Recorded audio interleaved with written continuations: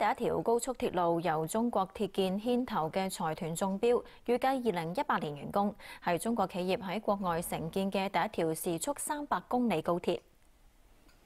中國高鐵踏出國外又有新例子，連接墨西哥首都墨西哥城至中北部工業重鎮克雷塔羅，全長二百一十公里嘅高鐵項目，由中國鐵建牽頭嘅國際財團以四十四億美元投得，設計時速三百公里，出年年初動工，預計二零一八年落成。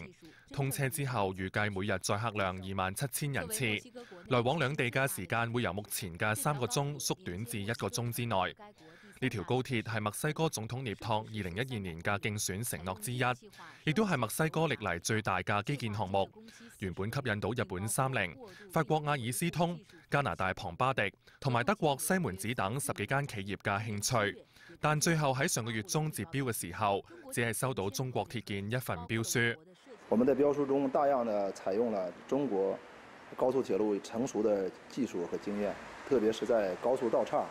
动车组和列车控制技术等呢，高速铁路的核技术，中国的高速鐵路技术已经完全成熟，并得到了这个发达国家的认可。除咗设计、施工、安装、调试等，中国铁建仲承担五年嘅营运维修服务，并向当地员工提供培训。由于巴西等南美国家都正系规划建设高铁，分析预期墨西哥嘅高铁项目会对周边国家产生示范作用。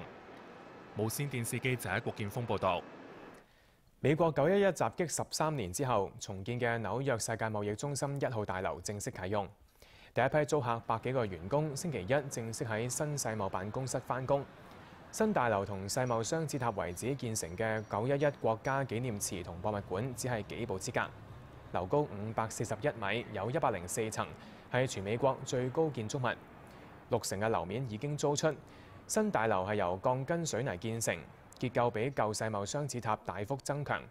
樓梯嘅水泥核心亦都加固同擴闊，使到逃生同救援通道更加暢通。